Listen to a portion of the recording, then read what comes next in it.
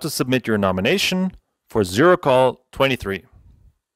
Once you have filled in the questionnaire, reviewed your contact details, and uploaded all supporting materials for your nomination, there is only one last step to take in order to complete your ZeroCall 23 nomination.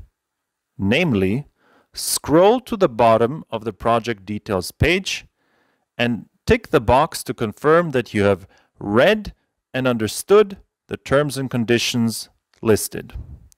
By clicking on the button I confirm my data is complete, submit project, you will officially submit your nomination and will no longer be able to edit any content within your nomination form.